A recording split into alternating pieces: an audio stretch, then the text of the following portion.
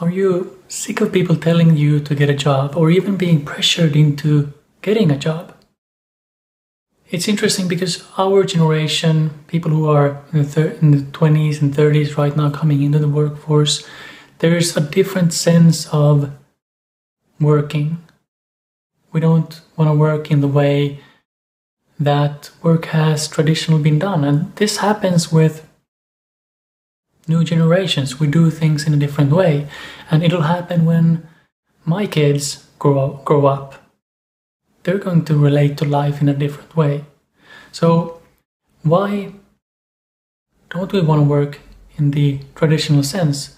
Well, it's going to be, it's, it's about individual empowerment, being empowered to do your own thing and to express your creative gifts and your strengths in life and not being put in a box to conform into a corporate stru- structure although there's nothing wrong with the corporate structure if it's done right and if it's fit if it fits with you because there are companies out there doing good stuff employees enjoying working there so it's not a, not so much about the form or the being a business a big business so much as it's about how it's done. What's the structure within within the business are and are the people in there being empowered? So if you feel out of alignment or out of source with life, then you're not alone. You're not different or obviously you're different from other generations, but it's normal. Whatever you're going through is normal and these are the themes we're here to experience. I talk, talked about themes in a different video of mine, so you may want to look at that. The video is called How Life Really Works.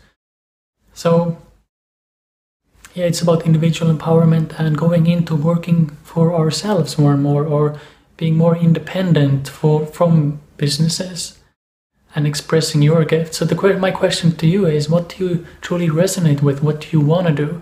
And I'm not talking about yeah, I should do this because my mother thinks something and I need money and whatever it is. You do what you can with what you have. If you need money, you get a job, you get money. But then, what do you truly want to do? What do you resonate with?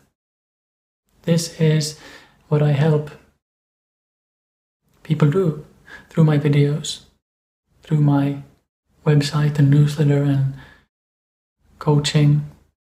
I help people discover what they are here to do and what's holding them back, how they are holding themselves back. So, if you don't feel like you want to get a job, if you feel limited in that, then do your best. If you need money, then get a job, whatever comes to you, because life always brings you things. So, follow those breadcrumbs that life leaves you.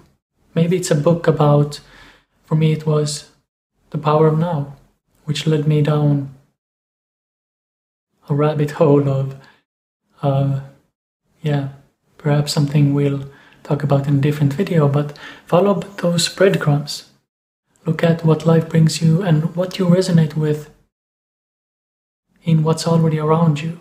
There, it's not about, yeah, I don't, I can't do that because I don't have money or I don't, I'm not courageous enough. It's about tiny steps looking at what's already in front of you. If you enjoy reading a book about a subject and then noticing what comes to you, if a course comes to you, if a person recommends something, to just start looking into all that. And knowing that it's a different generation, we're a different generation, and each generation is different and will go through different themes in their life and work in a different way, relate to others in a different way, and that's normal. Anyone that tells you that you need to conform well, what can you say? They're, they may be a bit out of touch about how life really works. We're all, we're all different and we all, we all express our differences in a different way. So, if you like this video, like, subscribe, visit my website for more, and if you want to work with me, say hello and let's see what we can do.